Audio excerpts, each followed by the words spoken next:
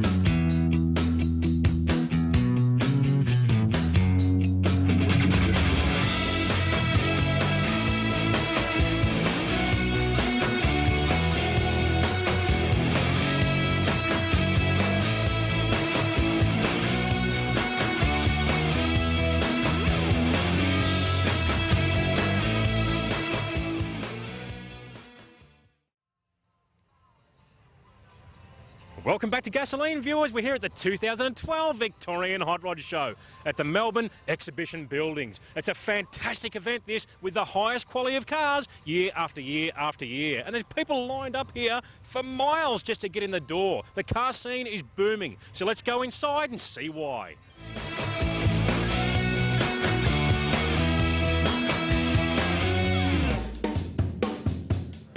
The 69 Dodge Charger, the bad boy of the muscle car scene. Why the bad boy, you ask? Think about this the Bullitt car chase. That big, bad black Dodge Charger chasing Steve McQueen and his green fastback Mustang. It's etched into my mind, and I'll never forget it as long as I live.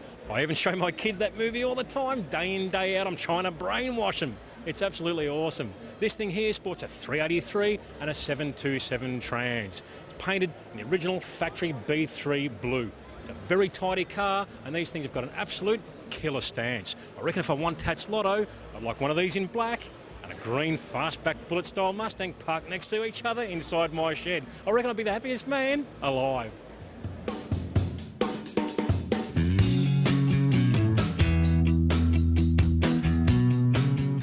Well, viewers, we're here with Jody Vincitorio and his absolutely magnificent HQ two-door here behind us.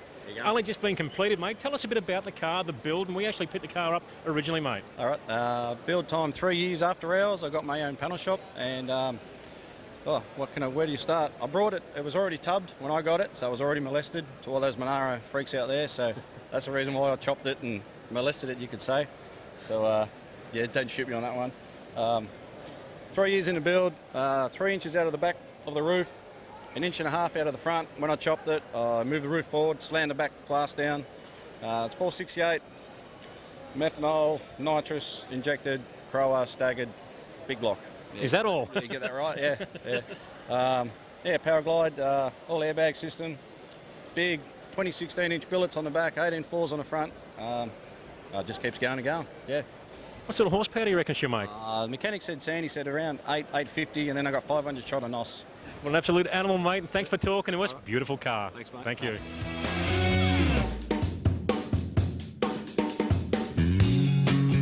Well, here's one that's caught my eye, viewers. This beautiful 67 fastback Mustang, Eleanor here, owned by Paul Mageas. It's a beautiful looking car, I'm sure you'll agree, but it's a very angry car as well. It sports a big, bad 440 cube Windsor with Cleveland cylinder heads. Makes a hell of a lot of power and a hell of a lot of torque. This thing ran a 10 second pass on street tyres. Turn up, run a 10 and drive the thing home. What an absolute animal this thing would be out at the racetrack. It runs a C4 trans, a big converter, 411 9 inch, 35 spline axles. You'd need those babies, believe me, because if this thing hooks up, it's going to break something for sure. It's got to be built tough.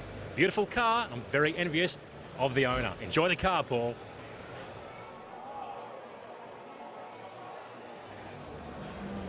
Well, viewers, I've found something extra special here. This incredible Mad Max Interceptor replica. Who would ever have thought that 30 years on down the track, there's still so much hype around about that original Mad Max movie? It was absolutely incredible and a movie that I'll never forget. This car here has had an absolute intense build from the ground up. Every nut and bolt, every part has been done to perfection to try and replicate it to perfection. I'd imagine it'd be quite a hard task building a car like this, worrying that if something wasn't done right. And people say, hey, that's not right, this isn't right. So the research and homework that has to go into building a car like this is absolutely painstakingly unbelievable. You'll notice in certain areas of the car, some areas are flat paint, some areas have a lot of gloss, just like the original car in the movie. The blower and everything looks the same. It looks absolutely incredible. And if I had this thing, I'd be driving it around. Don't you worry about that.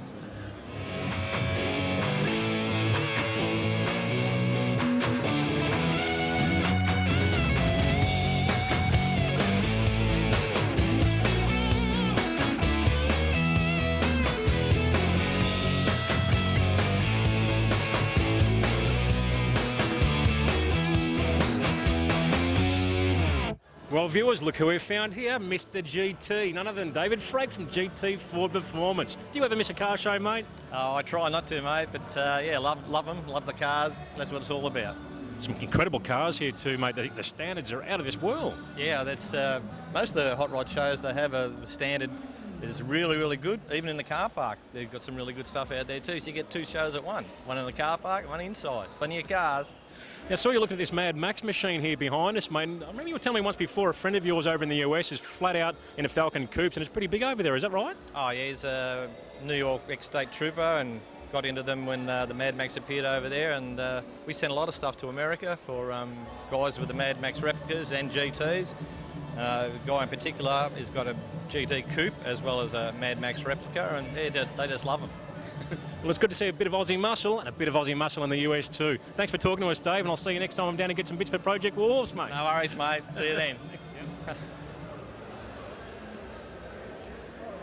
Now here's something a little bit different, viewers. This absolutely sensational 1969 Ford Ranchero Rio Grande, owned by Dave Wadsworth. This thing is absolutely sensational. The first time I saw this car was when I was down at Trevor Davis Auto Refinishes. He did all the paint and body work on this car and it's absolutely superb. It was actually a factory Vermilion Fire red car. How's that? But they've done something a little bit unique and a little bit different down at Trevor's shop. As for the rest of the car, it's got a mild 351 Cleveland in it with a C4 auto and a 3800 high stall converter. Got a twin two and a half inch system on it, disc brake front end, and a full set of Koni adjustable shock absorbers all round. This thing's also got factory ram air. Now that's a fairly unique option and it really makes this car unique. Should be a great ride and something just a little bit different, I'm sure you'll agree.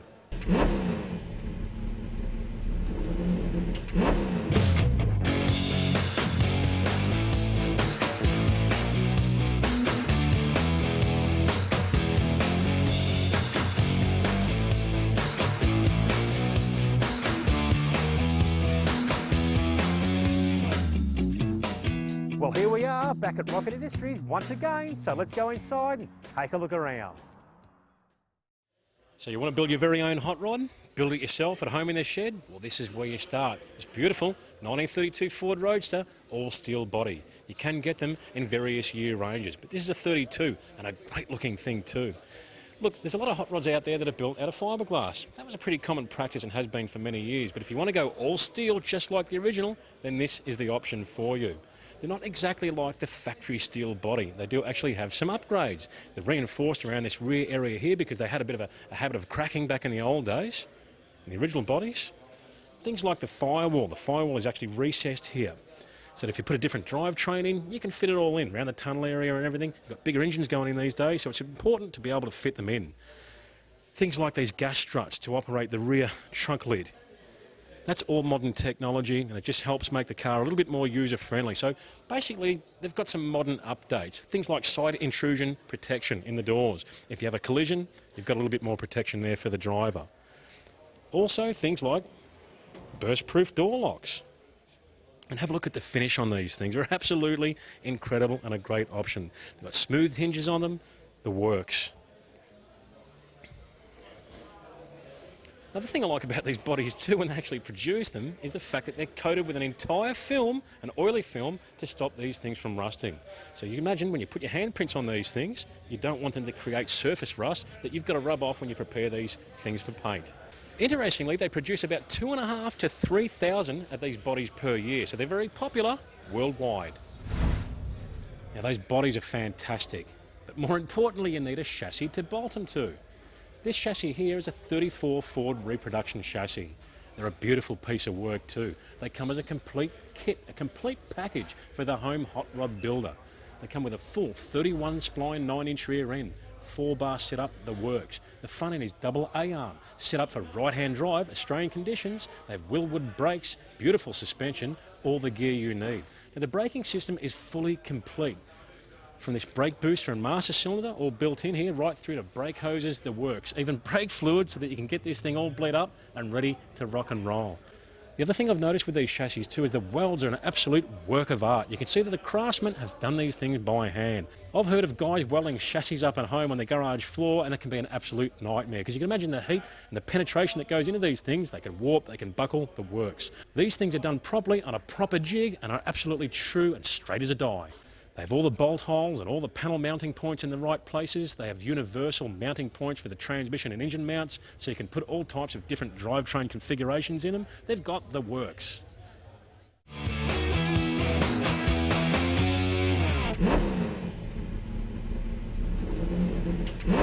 Well, look who we've bumped into here, folks. None other than Trevor Davis from Trevor Davis Auto Refinishes. Yes, the man who did my XY, Project Warhorse. Boy, am I happy with that thing. Now, Trev, tell me, what cars have you painted here today? Uh, the Green FC, it's over behind us. The Candy Brandywine EH. Um, it's the Candy Camaro just over in the corner right behind us. And of course, this orange one we're standing right in front of now. And this Ranchero here, mate, what a fantastic car. Tell me, how did you get the paint on this thing so spectacular? Lots of elbow grease, just the usual process, just um, lots and lots of elbow grease and attention to detail. And tell us a bit about the type of paint and the colour. It's a cocktail of two House of Kolor pearls as a ground coat, candy tangerine with a couple of pearls intermixed into that as an overlay over the top, and what you see is what you get. Mate, that sounds pretty complex, and I've heard that that candy style paint is very, very hard to paint. Is that correct? It can be difficult. In, in essence, you only get one go at doing it, and if um, you make a big mistake, it's rub it down, start again. So you've, you've got to be on your game to do it. Well, mate, fantastic job, and look forward to seeing you in the future when we get Project Warhorse a little bit further down the track. You and me both, mate. I'm looking forward to it as well. Thank you. Thank you, Glenn.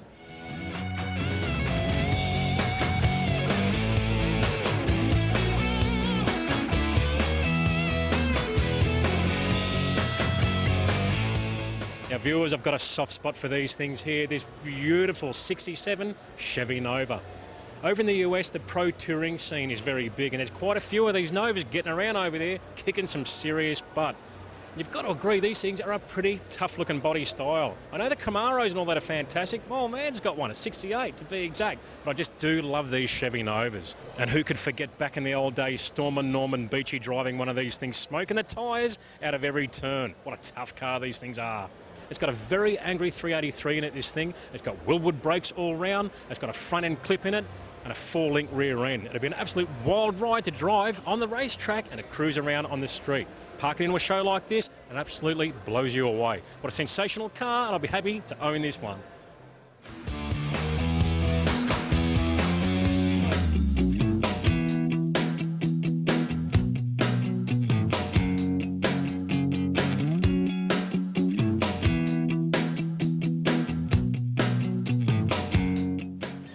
With Jason Taranto here in his 56 Ford Customline. This car stood out to me because it's one of the most original old cars for its age that I have ever seen. It's even got the plastic on the seats. Jason, tell us a little bit about the car and the history, mate. Uh, it's uh, originally uh, sold up at Brisbane um, at a Ford dealership up there. It's done 48,000 genuine miles.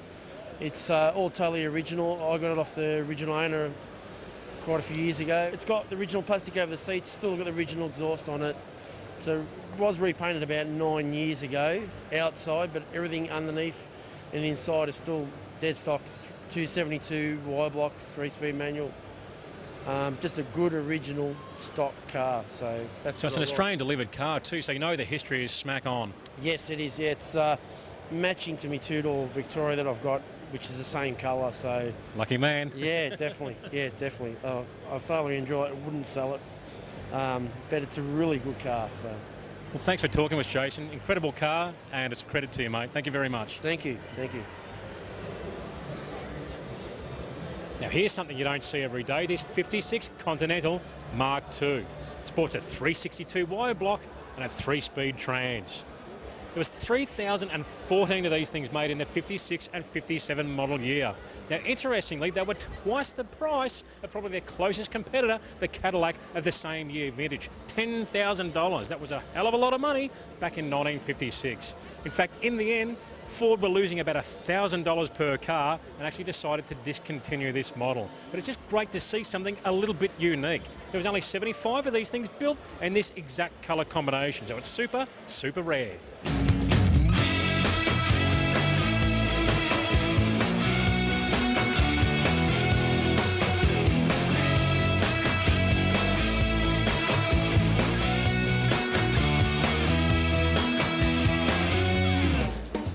Well, viewers, this one stopped me in my tracks. I'm very impressed with this absolutely beautiful 1967 Pontiac Parisienne. What a fantastic cruiser this thing would be. Starting with a beautiful 454 under the hood, a turbo 700 four-speed trans, a 12-bolt differential, and a UPC disc brake conversion on the front. This thing is absolutely immaculate and a credit to the builder of the car. Imagine this thing with the windows down, cruising along down the highway on that warm day. It'd be absolutely superb.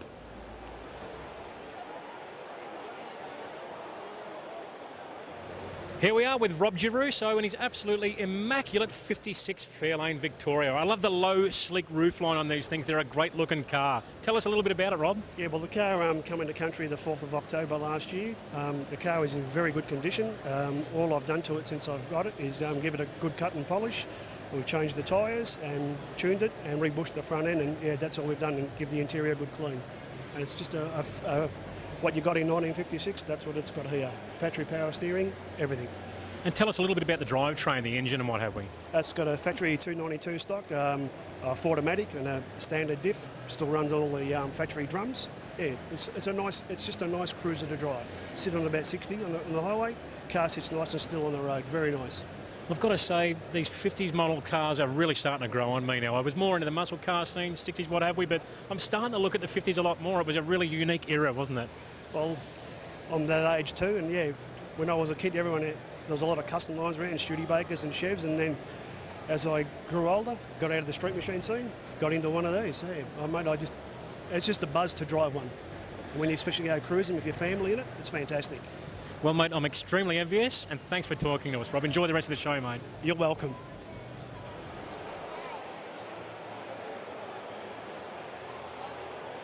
Well, we're here with Mark Foster and his beautifully restored 1958 FC Holden. Tell us a little bit about the car, mate. Uh, I've had the car about 30 years. Um, it's been off the road for the last 15. I've only just finished restoring it. Done uh, 90% of it myself. It's all been bare metal underneath, outside. It's all painted in two-pack Glasurit 2K. And uh, yeah, it's uh, Alpine White and Fountain Blue. And uh, I'm pretty pleased with the way it's come up actually. And I noticed you've got the old 138 grey in there, mate, some triples, the alloy rocker cover all the gear. Tell us a bit about the I was motor. actually going to V8 it there at one stage, but oh no, it's a pretty unique car this one. And uh, it's had all the motor rebuilt. It's got um, triple SUs, inch and a quarter. It's got a performance head in it, Georgie Wade cam. Yeah, it goes like a rocket, mate. I love it. I love the work you've done with it, mate. It's got that real old school hot rodders sort of races type theme from the 60s. If you went back in time in a time machine, mate, and stepped into this car, it'd be exactly how they were back oh, then. Yeah, they're pretty unique, these old things. There's not many at the show, actually. Yeah. There's only three FCs in here, I saw. Yeah, no, I'm very proud of it. Well, it's good to see, mate, and thanks for talking to us and enjoy the show. Thanks. Yeah. Thanks, Glenn.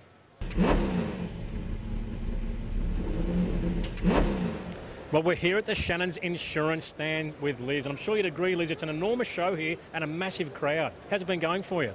Oh, really good. It's been a great turnout. We've had lots of people come past. It's been really good to be able to um, help them out with their needs and that sort of thing, especially the people who have their cars here. It's been a great day.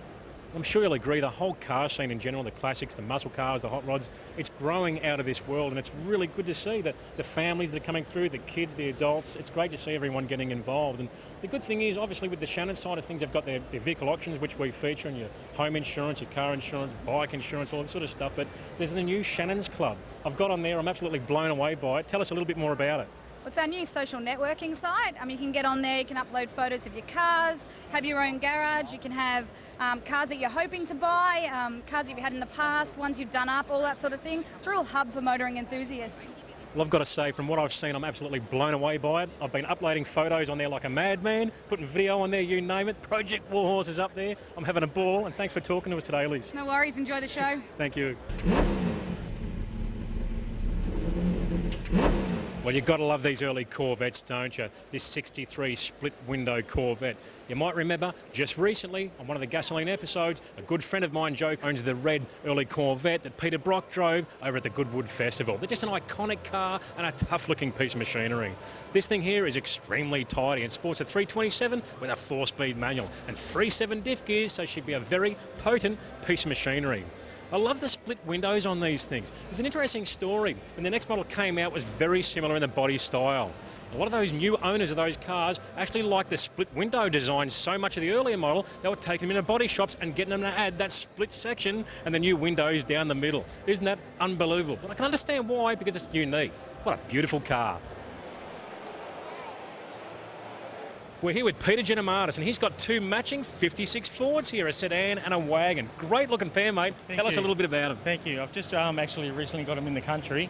Um, the 56 four-door pillarless and a 56 four-door wagon. Just came in on Tuesday, actually. So you got them from the US, obviously. US from a guy um, who's got maybe 80 in his collection. He worked for the post over there in America, and he was going, you know, coming back empty with his truck, and he was collecting 55s and 56 cars and bringing them back, and that's how he got his over nearly 100 cars, 80 to 100 cars he's got. So yeah, That's unbelievable, mate. At least it's, he's obviously happy to see these cars going to someone who appreciates them. He, he actually did, you know, he goes, I'm pretty happy that, he, and he also heard that I've got a, so many himself. Um, yeah, he was pretty happy that it was going to a good collection. 80 cars, mate. So there's still a bit of an opportunity out there. People are obviously selling a, a few cars off these days with the global economy. That's right, that's right. They, um, yeah, they're he's selling them off, so pretty happy with them. Well, that's fantastic, mate. You've got two cars to choose from, and thanks for talking to us and enjoy the rest of the show. Thank you. Thank you. Thank you.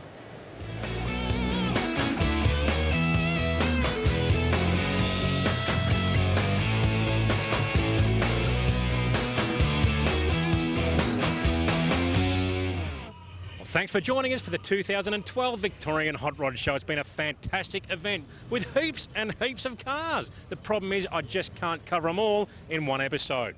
Either way, I hope you enjoyed it, and I'll see you next time on Gasolene.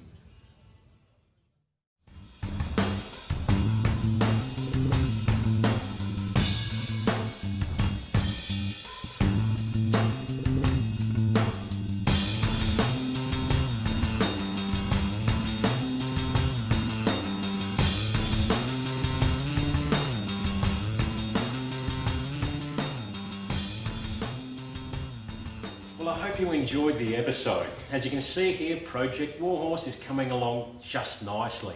But I want to talk to you about gasolene. We need your help. The car enthusiast community. We need you to get behind us to keep this show going strong. This show is made for car enthusiasts just like you and me. So it'll be great to see it continue for many years to come. Tell your friends, jump on forums, spread the word at car shows. Whatever you can do, please help. We'd really appreciate it. And if you're interested in checking out Project Warhorse and all the previous segments, feel free to go to the gasolene website or go to Shannon's Club. Click on my garage there, go in there, you'll see pictures, videos, specifications, stories, you name it. I'm sure you'll enjoy it and there's plenty more to come too. Anyway, that's enough of me talking. I better get back into building this car or it'll never get finished. I'll see you next time.